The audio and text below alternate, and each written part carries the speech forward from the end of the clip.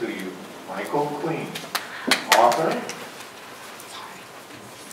uh, paranormal researcher, and historian. Mike. First of all, I would like to, uh, some of you may have noticed my little friend here on the poster. Uh, I would like to introduce him, but he doesn't actually have a name. Uh, so I'd like, I'd like your help with that. If somebody could suggest a name for our friend here, I'd appreciate it. Anybody? Bob. Who's Bob? the Yes? What did you say? Reaper? Well, I guess that's fitting. How about Bob the Reaper? We'll call him Bob the Reaper. So this is our friend Bob the Reaper. Uh, I also wanted to plug tonight, I couldn't really have done this with, so why don't we get started? Uh, This is one of the most famous of Rockford's legends. This is a haunted house, as you can see there on North First Street, uh, a little ways from the library here. Uh, This story is based on a real person, a person who actually lived in this house for a very long time, and someone who was well known to the community. Uh, Her name was Emma Pauline Jones. She was an immigrant from Norway. Uh, She lived at this home, which was built in 1856 from the 1920s into the 1950s. Uh, She lived there for most of this time with her husband Frank. And he owned a transport company. And so he was often away on business. So uh, this lady would spend most of her time alone in this house with her three dogs, including two Dalmatians, Moxie and Channing. Now, after her husband died in 1941, uh, Emma was left pretty much alone in this house, except for her three beloved dogs. And as, uh, as nature tends to do, those dogs grew old and died. And so Emma was then left alone in this house. And this is uh, a very massive house, if you can tell. It has very large open rooms. It's very spacious. Uh, it's much too much for just one person. And slowly but surely, uh, she began to descend into loneliness and dementia. Uh, she spent her twilight years sitting in the rocking chair waiting for loved ones who would never return. As storytellers say that she became convinced that her husband and her beloved dogs had not passed on, but they actually were on a business trip and that any day now they would come back. So she waited up in one of the rooms in the top of the house overlooking the Rock River, uh, waiting for them to, to come back. And of course, they never did. Uh, Emma finally uh, sold her home when relatives convinced her that she could no longer uh, afford to live there, both physically and uh, monetarily. And she moved in with this relative, where she died in 1964.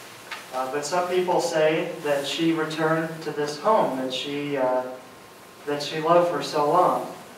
Now there are a number of different stories from the various uh, people who occupied this house after her to sort of substantiate the ghost story. Um, the earliest one is of a, a realtor who was showing the house and he walked down into the basement uh, to show the basement and he couldn't find the light switch. So he lit a match and the first match got blown out by the wind. And so he lit a second match. And this match he dropped because he was startled by what he saw. In the shadows, he thought he saw a person standing there in the basement with him. And so this realtor didn't uh, inform his potential clients of this because he wanted to sell the house. And so eventually a young couple bought the house and they uh, claimed that strange things would, would happen while they, while they were there. Just simple, mundane things. Uh, you know, people uh, hear footsteps and, and that kind of thing. One of the things they said was that they could hear someone tapping on their, their headboard at night. Kind of like that. Uh, but these things weren't really enough to startle this young couple. They'd invested a lot of money in this house, so they wanted to stay there as long as they could. It was a beautiful old home.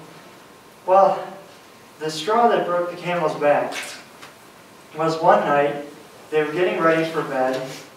Uh, they were coming downstairs in their living room to check and see if all the doors were locked. And suddenly, uh, an elderly woman appeared out of nowhere and demanded to know what they were doing in her house. And of course, they were completely startled by this, uh, especially when this woman disappeared. And suffice to say, uh, this young couple then sold the house and moved elsewhere. The next resident was a uh, bachelor, an older gentleman whose wife had died, and he decided to move into this, this stately old home. And he too began to hear uh, certain strange noises. Uh, he heard what sounded like claws tapping on the floor, like would, you know, if a dog were to be walking around. And he also, again, heard strange tapping on his bed, uh, bedpost. Kind of like that. The, the tipping point for him was when he was awoken uh, by a phone call on his birthday, and he answered the phone, and on the other end was an older lady who asked him uh, if she was dead, and she kept asking him over and over again, am I dead, am I dead? Uh, this spooked him considerably, obviously, and he uh, moved out very soon after that. Now, a number of businesses uh, moved into this home after that. Um, there were several of them. One of them was a, an architectural uh, firm. And one of the employees who worked there was a secretary who seemed to be rather sensitive to these things. And one day, um, she had made a, a cheesecake for, you know, a, a luncheon or something like that for her company. She went to go get a knife to cut the cheesecake, and when she turned around, the cheesecake had already been cut. Now we know that uh, one of Emma's favorite foods to bake was cheesecake. Now the same employee, later on, uh, descended the stairs to the attic to, to get some files or something. And she said that uh, suddenly the, the room was no longer the storage room. Suddenly the room uh, was transformed. You know, it had uh, a dresser in there, it had all this old furniture, uh, and what looked like an old bed. And she was very shaken up by this. So she raced down the stairs, but not before, out of the corner of her eye, uh, she thought she caught a glimpse of something. So she turned around, and standing there on the stairs was the ghost of this old woman. Uh, now, there, there have been a, you know, successive businesses in this residence, as I've said. Uh, I'm not sure who occupies it today, but as far as I understand, the uh, ghostly manifestations of Emma Jones have kind of tapered off over the years.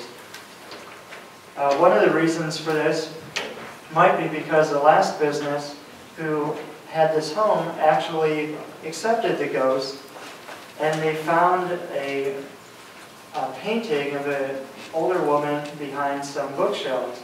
And they thought, oh, this must be a painting of, of Emma. And so they hung it prominently on the wall.